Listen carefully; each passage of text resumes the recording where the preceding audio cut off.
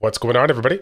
It's Childish. We're back at the game, coming at you with another Summoners War video. And in today's video, we give you guys our final World Arena update, which we're going to be finishing off with the Conquer 3 rank. Unfortunately, we weren't able to lock the G1 rank in. We had a lot of ups and downs along the way, but to be honest with you guys, I'm pretty happy about the C3 finish um, because of the fact of, you know, we, we learned a lot from the season. We definitely learned a lot from the season and a new strategy that we didn't play. But before we get into that stuff, I do want to let you guys know if you guys can help me out, show your support. There's a link in the description down below to a video that I made on the Amazon App Store YouTube channel. As you guys know, we've been doing a lot of sponsored content for the Amazon App Store and their YouTube channel. So we do have a summoning session over there, a massive summoning session uh, with my man Pally, who came on board for a video, or sorry, a voice call, and we essentially just kind of talked the talk during the video and uh, bring bring you guys some summons there. So if you guys are down for that, show your support here. Like the video, subscribe to their channel over there. Again, we're going to be bringing out some more content, not just uh, other people's subscriber summons, but also my summons down the road. So make sure you guys are tuned in and locked into that. But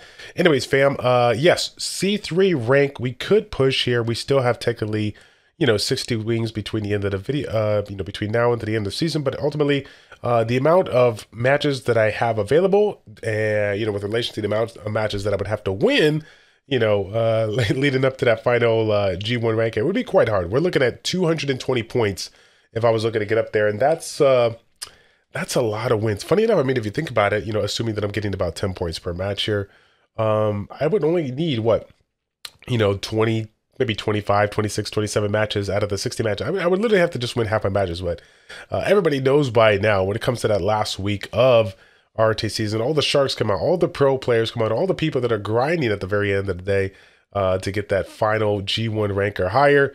Um, they're pushing it, and uh, I honestly don't. I don't want to get in their way, but let me tell you something, man.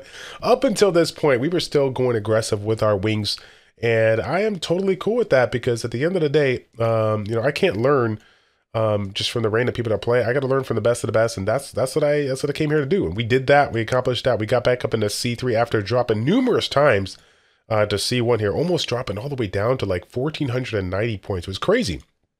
We dropped. We actually dropped a handful of points. So, um, but yeah. That being said, though, it was a blast. It was definitely a blast. Uh, you know, messing around with it. This new strategy. Uh, which was of course uh, assisted, you know, by uh, Zigbear and uh, Furious. Take a look at my account, see what we could do, making some changes uh, considering the units that I have available. And um, overall, it worked pretty well here. Some of the things that was kind of cool was a situation like this where we incorporated the use of Chiwu, even though it got banned in the spot here. Um, I actually, this was something that I added uh, into the situation when, you know, somebody would utilize one of my uh, speed lead plus strippers like a like a watery or something like that. Um, it actually came in pretty clutch in certain spots here. Um, my only downside was I wasn't able to get him outrageously fast and put him on will, which is kind of funny. Like it's like a uh, not really an oxymoron. What am I thinking about? You know, like you can't have it all sometimes, right? So, uh, you know, the, and the situations to where I had Chiwu and I'm like, oh yeah, between Chiwu and uh, and Eshir, I'm gonna be good to go. But you know, maybe they had some kind of unit like a Sekhmet or an Oliver, or whatever like that. I may outs, I, I may have outsped, or no, no, no, I didn't outspeed. And if I didn't outspeed, they would be able to reset my stripper, which was unfortunate here. So that was another, that was a big, big thing that I ran into if I didn't get the chance to outspeed. But generally, speaking for the most part, I was able to get the jump on them if I was running, um, like I said, uh, Chiwu or Neshir in some in certain situations, and um, you know, it worked out. It worked out fairly good, fairly good. Um, but funny enough, in the last particular stages here, and you're going to see this right now, um, I got in such situations where they really didn't have a lot of immunity, and um, and I was able to take advantage of Savannah a little bit more. Um, the main composition that I was running for the most part, leading up to this part, was the uh, Water Ryu, Tableau, Ziana, uh, Chung Pong, and then I was using Ren, as you guys know. Um, but I've been substituting Ren out for Savannah since Savannah does have that extra strip, does have the attack bar pushback, does have the speed buff, which sometimes can be considered underrated here in this spot. Um, worked out really, really good. Uh, I'm trying to think of this spot if I was able to take advantage of it here. I believe I was. Uh, we did get a uh, we did get a pushback there um, which is kind of funny. I thought the I thought my Savannah was going to go before it, but I must have missed the pushback there on this replay. Um, that being said, though, yeah, it worked out really, really well. Um, you know, honestly, the attack bar pushback, the defense break was really all that I needed. If I was able to sneak in some additional stuns, that was really good. Uh, for those who don't know, we were running the despair, as you guys can see right there with the despair on the uh, on the Dominic here. We were running the spare Savannah, and man, it worked really, really good. If we did not get you know, that defense break or the glance and whatnot here. It definitely slowed them down um, and uh, made it a little bit easier to finish it off here. So was really happy about that because, uh, you know, way back in the day, you know, I thought it was either, you know, like a swift unit or a violent unit. I never would have thought in a million years it would have been a spare. And I played around with it a little bit um, in PVE a few months back. And so when they recommended, yeah, we're going to go to spare this one, like, oh, that's kind of cool because I've been utilizing it on despair as well in PVE on siege defense, and it's been working uh, wonders here. So in this particular spot here, it was really weird. I actually went for the Oliver ban. Uh, I, I had a couple of matches here leading up to this where I was leaving Leo in a spot um, where you know most people wouldn't think of because of the fact of you know I had Tableau in there, but uh, uh, this time around for whatever reason I didn't go with the Leo ban, and I believe it worked out. Um, no, no, no. I think this is one of the ones that I actually lost here. So funny enough, um, you know, if I had that speed, I think things would have worked out in favor. Having the Leo and the Vertigo is just absolutely disgusting. And uh, I get myself in certain situations where I'm like, you know what? Leo Vertigo isn't really that bad. I can deal with it. It's no big deal. And then I get punished like I am right now here, where I'm spreading out my, my damage. I'm trying to do work here, but the uh, attack bar manipulation that Vertigo is bringing is just too much for my composition here. So, yeah. In addition to that, not being able to control that Masha because of the passive immunity really hurt me there, and ultimately it led to my uh, one of my losses here uh, in this last push for the C3 ranker. So, but yeah, he uh, like I said, yeah, I'm, I'm spreading out my damage a little too thin, trying to see if I can snipe Leo, and literally, like I, as you guys saw, I literally set him up for uh, a fat ignore defense torrent right there. That uh, was one of the main reasons why he got that win here. So yeah, but uh, again, as you might have guessed, you know we're making a couple of mistakes here and there, but overall we had a pretty good we had a pretty good run. And funny enough, after having that match where I went up against a Leo, I went up against somebody that's uh, in a solid C3. Um, and I believe in this particular situation, I actually did get rid of the Leo because I was just not having it anymore. Again, going with that same strategy here with these first three picks and then utilizing the Savannah versus like the Rent because, again, I just felt like uh, we had this, this was an opportunity because of what was left out there. Three out of the four units I can control with Savannah. Um, so I was I was happy with that here. So we got kind of lucky here that Ren didn't. Uh, sorry, Ren Masha didn't violent proc. I feel like Masha always violent procs when they're going for that Savannah. Um, we were able to take out the CR and knock out the Cadiz here uh, with a nice little violent proc here.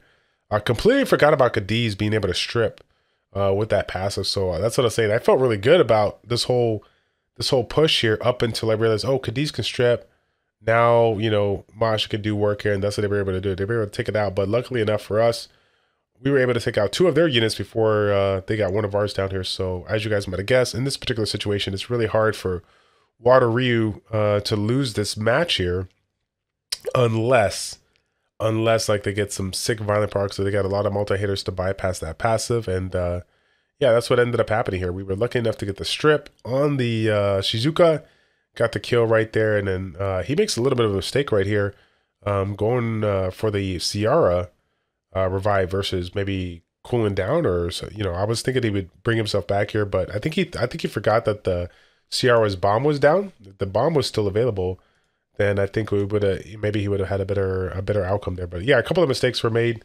I believe on his part we'd be able to secure that win. and then, funny enough, uh, I was I was content with the 1654 because I felt like that was going to be good enough to win. But I'm like, I'm going to do one more just to see how we do here. So again, utilizing Savannah, getting rid of that Leo. Tian Lang, I've been in situations where I wanted to ban Tian Lang. Um, and you guys have commented on my videos about this where I banned Tian Lang uh, wrongly because of the fact that there's no attack bar, you know, push outside of, you know, the second skill on the fast link or whatnot or whatever like that. So, um, yeah, we were able to ban appropriately here and we were we were lucky enough to get a, some clutch stuns. Uh, take out the tailing right away, get some additional procs here from the dice, and uh, it was enough to take out again two out of three units here. So felt pretty good about this spot.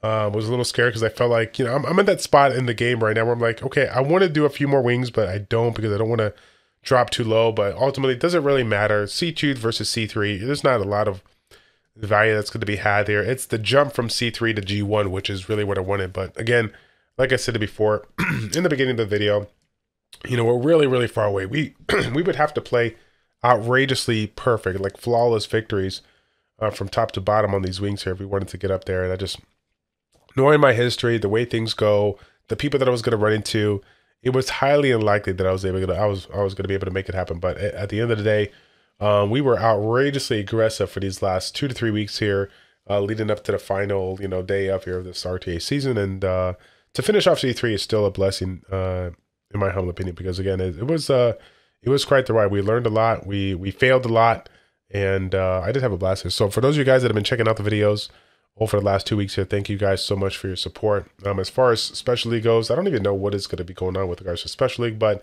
I will tell you this: I'm not a huge fan of special league. I generally, you know, take a break with that. Uh, and if and if I happen to do special league like for a stream or whatnot, I just I like do a couple of matches with the units that I already have runed up. So hopefully, whatever they decide to do, I got some units runed up here, and you know we just kind of deal with that. Maybe maybe I don't know if we can we still do two v two. Uh, I think two v two is kind of out the question, right? Oh, that that'd be nice. Maybe we do some two v two down that road if uh, people are still into that here, but I I don't see it available, so maybe it's not available now anymore. But I don't know. Maybe they'll have two v two for special league. Who knows, right? Who knows? But anyways, fam, again, just wanted to point it out uh, that we will be dropping uh, I think we'll be streaming here uh, tonight about 8 p.m. Central Standard Time. Um, as far as right now goes, I'm trying to think of what I'm going to do if I'm not going to do any RTA wings here. Um, but uh, I think what I'm going to do, honestly, I think I'm going to give it one more one more go here. I think I'm going to give it one more go. Do some uh, do some summons.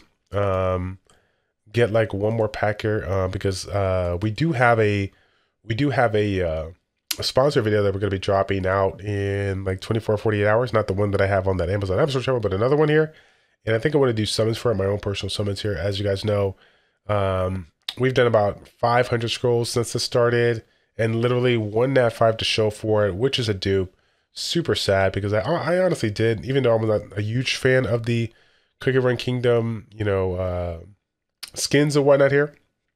I still wanted the new units just to mess around with because I feel like there's a couple of good units that could be super fun here. In addition to having, you know, of course, the big units that I'm still looking for, right? The Oliver and whatnot here. That would be absolutely amazing. Uh, hey, gang would be great. Um, just some of those units here that can uh, fare really well, um, you know, in RTA as far as the meta goes right now. But yeah, that's going to be a fam. Again, hopefully we can see you on board tonight, twitch.tv slash childish402. If you did not know I stream, generally we stream Sunday, Tuesday, and Thursday in the evenings at 8 p.m. Central Standard Time. Uh, Tuesdays has been a little bit early for me over the past few months here as I've been playing poker on those evenings here. Uh, we generally start over there uh, on Tuesdays at 5 p.m.